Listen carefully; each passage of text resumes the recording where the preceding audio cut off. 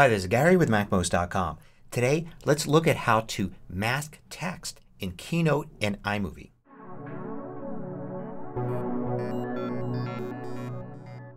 MacMost is brought to you thanks to a great group of more than 750 supporters. Go to MacMost.com slash Patreon. There you can read more about the Patreon campaign, join us, and get exclusive content and course discounts. Now suppose you're making a video and you want to do something extra special with the text. Like for instance you want to have text appear inside of an image kind of behind some objects and in front of others. Let's take a look at this image here and let's say we wanted the text to come in behind this building but in front of everything else. So a way to do that is to use Keynote. Let's create a new presentation in Keynote. I'm just going to use the basic black template there and get rid of the text in there. Then I'm going to drag and drop this image in. Now the idea is I want to add some text here that will go behind this building. So let's go to text and create a title. So I'll set this up to be pretty big font and some sort of nice bold text. Also make it look decent by going to advanced image fill, using the default texture that's there, setting it something a little bit brighter, and then maybe also adding a shadow to it. So I'll go in here, shadow, a little bit more of a blur to it, a little bit more of an offset. Maybe have it down there. So let's say I'm going to have this text go behind this building. So to do that I'm going to need to take this image here and have two versions of it. One that has everything and another that just has this building. To do that in Keynote what you need to do is create a mask. We're going to go to Shape here. We're going to use the Pen tool and then I'm going to draw very carefully some lines that encompass this entire building. I can go a little bit outside of the frame. You can see I'm doing that.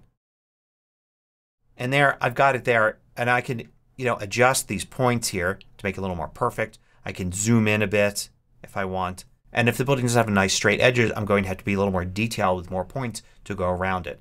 But here I've got the building outlined and I'm going to go to Format, Style here and change this to a color fill. Let's change it to something we can easily see like a red like that. Now as I said I need two copies of this picture here.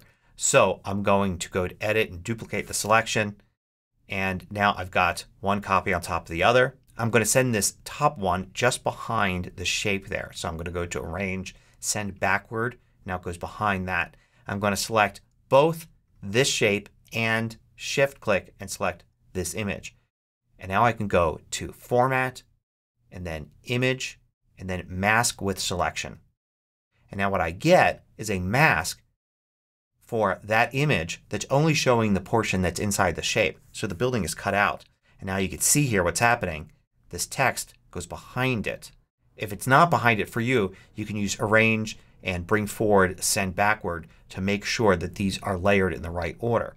So now if I want to have this text move through here I could create an animation, go to Animate, Action, Add an Effect, Move, and now I get this line and I could have the line extend so the text comes completely out there. I think it looks better with no acceleration and probably something I want to take place over a longer period of time.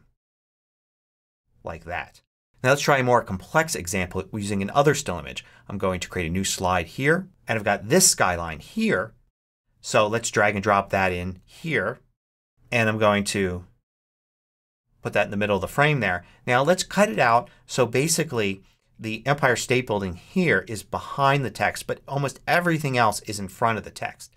So this is going to get a little more complex. I'm going to use Shift Command and then period to increase the view. You can see that under View, Zoom, Zoom In. So I can get really close here and I could start drawing a shape around things that are in front of the street here in front of the Empire State Building. So I'll do the same thing here with shape and then I'll use this and I'll start meticulously drawing like that. And this is going to take a while. Now you can see I've done the same thing here where I've masked a second copy right there. But now this is a much more complex second copy here. So when I take the same title text, just copy and paste from here, I can arrange, send backward, and you can see it's behind those buildings. So now I could have it down here. I can have the animation instead have it rise up like that. And now when I preview that, you can see it rise up there in the city. Now let's go back to this one here and address a problem. Notice here there's traffic going on there. But if I were to take a look at the animation, you can see it's all static there, which could be good if that's the style you're going for. But it would be nice to actually have that traffic moving. So I've got the still frame that we used here, but I also happen to have the video of that. So let's drag and drop the video in. Now we take this video and it's all the way on top and let's arrange, send it all the way to the back. And we've still got that image there, that second image. Let's get rid of that. So now we have this image here on top. We've got the text and we have the video back here. Let's go and show the build order here and we can see we've got the movement of the title text followed by the video starting. Instead, let's have the video start with it. So we have build one which is going to happen after the transition and then with that is going to be the video we'll play. Now let's take a look at what happens. Now we have the clouds moving and the traffic moving while the text is moving. The only thing that's not moving is this building. There are reflections and things in this building that are static but you don't really notice it as much. But we can actually have everything. So what we could do here, let's get rid of this and instead start over again with a new shape that will do the same thing we had before. But the difference is that instead of actually cutting this out we're just going to turn it green. Yes, that's right, green. So I'll go to Fill, do Color Fill, set the fill to the brightest green. Let's get rid of the video here in the background completely. And instead select the slide, then go to Format and then Background and change the color of the background to green. Now also let's go and select this and make sure there's no line here. So now you see the animation here will simply have the text slip behind this green area. So let's export this. So I'm going to go to File, Export, Movie. So we'll just do the first frame since we have something else on the second frame. And we'll set these to 0 so it starts right away. I'm going to stick with the current resolution which is 4K because that was the size of the video and the images that I had. So I set this keynote presentation to be 4K but you may actually be doing it at 1080.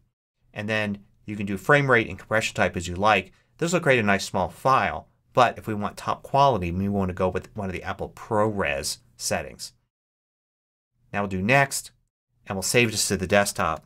And now let's take a look at this file in Quick Look and we can see the text goes behind this little invisible green rectangle here. So now let's go into iMovie and what I'm going to do is I'm going to bring in the video and put that here in the main timeline. Then I'm going to bring in the green screen video I just created and put that on top of the main timeline. So it's an overlay. And you could do one overlay in iMovie. So now you can see I've got the text here and all I need to do is select that and make sure you click this so you're looking at the overlay settings and change to green screen. And now even though this text is technically above everything because it's cut out in this section it appears as if it's actually behind the building and we get full video both on the building here and everything going on in the background there.